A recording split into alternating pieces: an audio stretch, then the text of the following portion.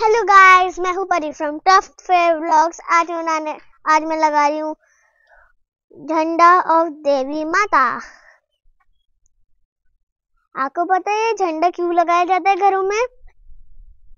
क्योंकि नवरात्रियाँ चल रही हैं। आपको बहुत बहुत शुभकामनाएँ नवरात्रियाँ की। ये देवी माता का झंडा है, हम लोग ये लगाएँगे अपने छत पे। आप आप जानना चाहते हो कि क्यों लगाया जाता है ताकि हमारे घर में सुख क्षमता आए? और देवी माता हमें बहुत सारा धन दे।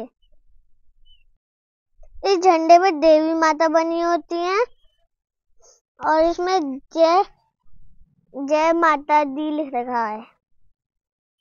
और एक त्रिशूल है। गाइस मैं झंडा लगा रही हूँ डंडे पे। अगर आपको झंडा ना लगाना है तो आप अपने मदर फादर की हेल्प ले सकते हैं।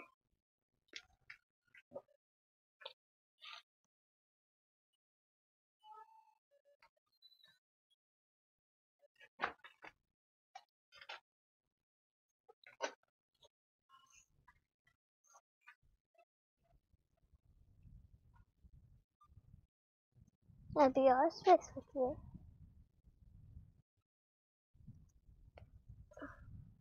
रात्रियों में नौ दिन हमें व्रत रखना चाहिए। और ये हमारा फ्लैग जो सबसे ऊपर है।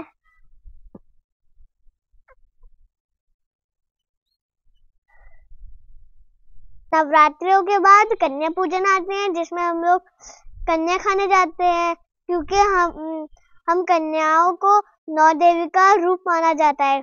हमारी कॉलोनी में तो हमारी कॉलोनी में तो हम लोगों को पूरी कॉलोनी एक घर में चली जाती है। गाइस हमारे चैनल को सब्सक्राइब कीजिए लाइक कीजिए एंड एंड अपने फ्रेंड्स को शेयर कर देना। Happy Navratri bye guys